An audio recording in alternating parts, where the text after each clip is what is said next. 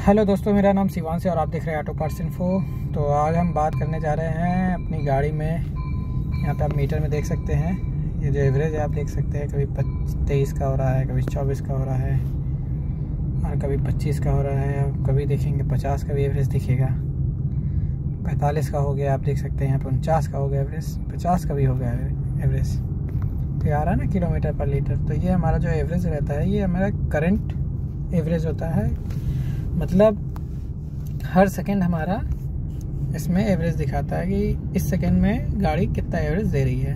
तो आप देख सकते हैं, इस समय हमारी गाड़ी 36 पॉइंट 31.6 के एवरेज से चल रही थी, अब 29.7 के एवरेज से चल रही है 30 के एवरेज से चल रही है तो ये हमारा करंट एवरेज होता है। जिसका ही कैलकुलेशन होके कैलकुलेट करके ये आपको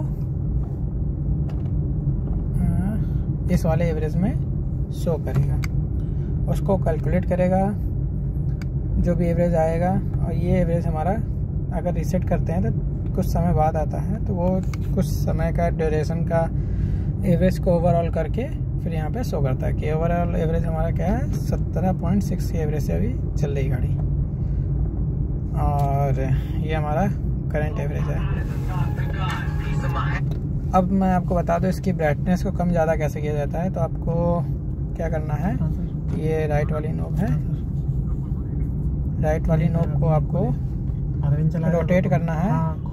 राइट हाँ। या लेफ़्ट आप देख सकते हैं राइट या लेफ़्ट रोटेट करेंगे।